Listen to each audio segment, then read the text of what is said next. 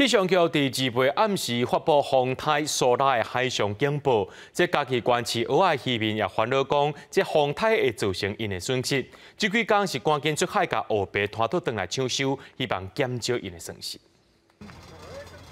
鹅龙船驶的就赶要出海，边仔阁有鹅龙拄回来，再收回来的蚵仔。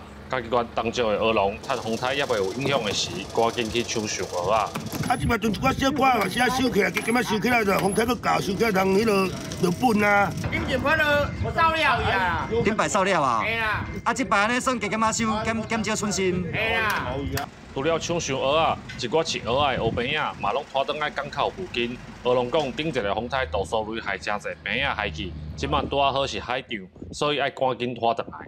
我像咱加减一啊，来去，我我就攞少。家己关沿海用是蚵仔饼啊，大约有一万平左右。顶届风台造成的损害也未复原，即马阁有风台要来，鹅龙只会当尽量做准备，希望减少损失。